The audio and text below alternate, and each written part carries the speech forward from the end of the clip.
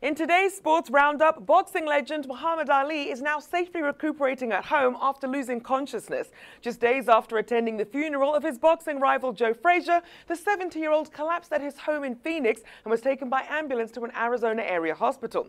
Tiger Woods is finally back to his old ways in terms of his golf skills. After 26 tournaments without a win, Woods clinched the Chevron World Challenge with a six-foot birdie putt and a fist pump.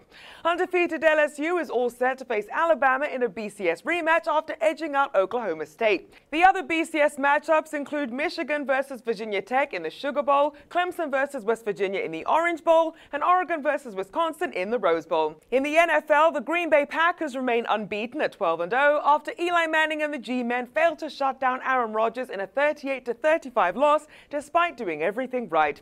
And in the Battle of the Christians, Christian Ponder and the Vikings fell to another Tim Tebow comeback from the Denver Broncos, who outplayed and outprayed them 35 32.